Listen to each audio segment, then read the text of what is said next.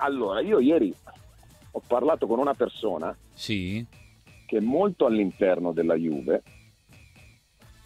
che mi dice che alla fine di quest'anno, anche se Allegri, dico anche se, dovesse vincere tutto quello che c'è da vincere, si siedono a tavolino e si stringono la mano.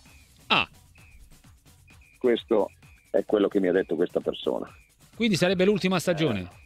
A prescindere da come vada. a prescindere da come vada. Però è una cosa, è una cosa che, che ha un suo fondamento, probabilmente perché hanno capito all'interno della società che un, un tipo di percorso del genere non è adatto a un tipo di allenatore così.